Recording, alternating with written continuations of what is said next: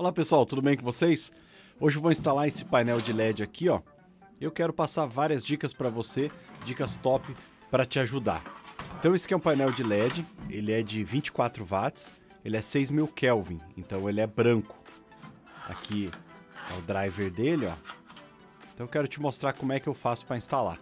Eu faço aqui como se fosse um gabarito, ó. Aproveito a própria caixa, a própria embalagem e eu recorto aqui, ó. Lógico, menor que o acabamento, mas ele tem que ser um pouquinho maior que a parte que vai embutir.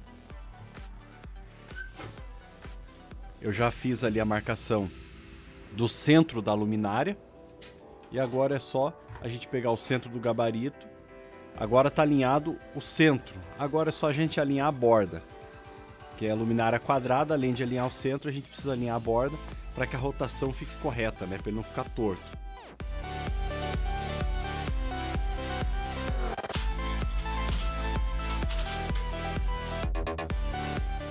Então aqui, ó, depois de colocar no lugar e alinhado, é só a gente fazer a marcação com o próprio serrote de gesso.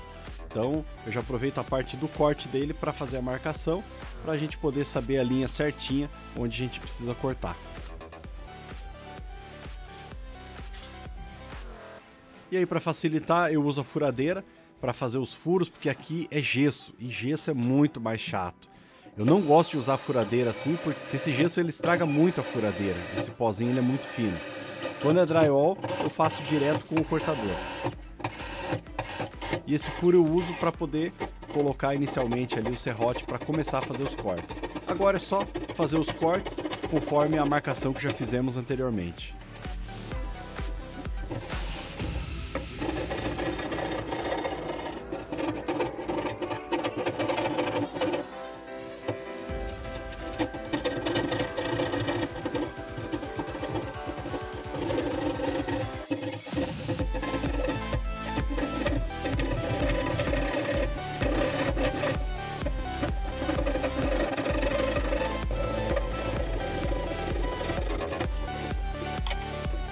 Agora é só a gente fazer a instalação elétrica e aqui eu vou utilizar conector. É, tem, é questão de costume, tem pessoas que não gostam de usar conector, mas olha a facilidade. Eu acredito que enquanto não tinha conector, a gente tinha que usar fita isolante e ficar feliz. Mas agora que tem conector, que é muito mais fácil, nós precisamos evoluir. Olha a facilidade e a rapidez que a gente faz uma instalação.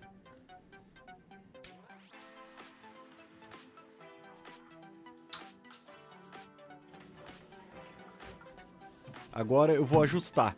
Então eu já fiz o corte, agora eu preciso ir encaixando ali e ver aonde que eu preciso cortar mais para ele ajustar, ó. Você viu que não encaixou direitinho, ó. Então eu preciso tirar e cortar novamente.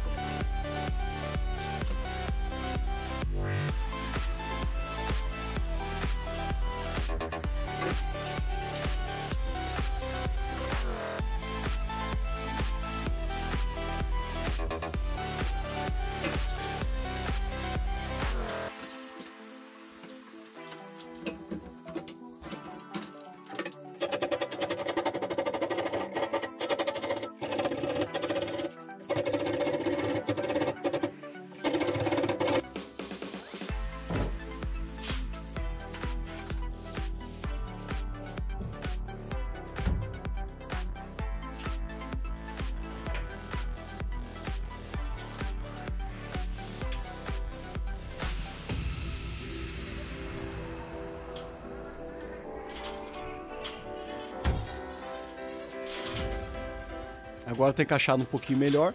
Não sei se você consegue perceber, mas tem um detalhezinho ali no gesso. Isso aqui o gesseiro vai vir depois para dar uma corrigida nesses pontinhos que ficou a mais, porque a qualidade do gesso ficou muito ruim. Então ele começou a pipocar muito, então ele ficou de passar depois para corrigir esses pontinhos que acabaram soltando.